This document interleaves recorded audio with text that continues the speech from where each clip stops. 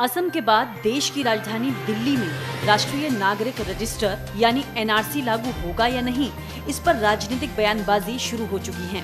इसी मुद्दे पर बुधवार को दिल्ली के मुख्यमंत्री अरविंद केजरीवाल ने मीडिया के इसी सवाल पर दिए गए एक जवाब के दौरान दिल्ली भाजपा अध्यक्ष मनोज तिवारी पर तंज कसा और कहा कि अगर दिल्ली में एनआरसी लागू होता है तो सबसे पहले मनोज तिवारी को ही दिल्ली छोड़नी पड़ेगी।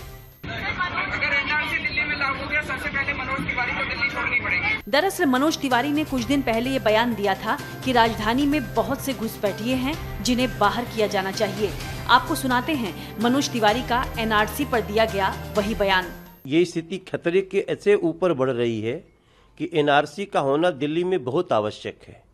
और मेरा पूरा विश्वास है कि जो लोग इलीगल घुसपैठिए आए हैं और दिल्ली में बस रहे हैं, वो पूरे देश में सबसे ज़्यादा खतरनाक हैं। और उनने उनके ऊपर भी ये एनआरसी कार्रवाई होनी ही चाहिए। भारतीय जनता पार्टी के तरफ़ से हमारा यही मत है और समय मिलते ही हम इसको करके भी रहेंगे। आपको ये भी बता दें कि मनोज तिवारी एक बार नहीं बल्कि कई दफ़ा राजधानी में एनआरसी लागू करने की मांग कर चुके हैं और इसके लिए बाकायदा वो गृह मंत्री अमित शाह से भी मिले थे। Video desk Amar Ujala dot com. अगर आप ये वीडियो YouTube पर देख रहे हैं तो हमारे चैनल को सब्सक्राइब करें और बेल आइकन को दबाना ना भूलें। अगर आप फेसबुक पर यह वीडियो देख रहे हैं तो हमारे पेज को लाइक करें।